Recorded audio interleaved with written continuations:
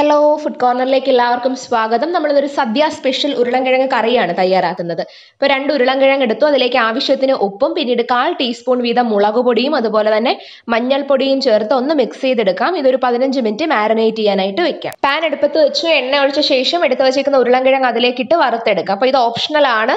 വറുത്തെടുത്ത ശേഷം മറ്റൊരു പാത്രത്തിലേക്ക് മാറ്റാം. മറ്റൊരു പാൻ എടുത്തു. അതിലേക്ക് ഒരു ടേബിൾ സ്പൂൺ എണ്ണ ഒഴിച്ച് ചൂടായ ശേഷം കാൽ ടീസ്പൂൺ കടുകിട്ടു ഇനി അരിഞ്ഞു വെച്ചിരിക്കുന്ന സവാള ഇതിലിട്ട് ഒന്ന് വഴറ്റിയെടുക്കാം. പിന്നീട് ഒരു ടേബിൾ സ്പൂൺ ഇഞ്ചി വെളുത്തുള്ളി പച്ചമുളക് അതിനുശേഷം അരിഞ്ഞു വെച്ചേക്കുന്ന തക്കാളി.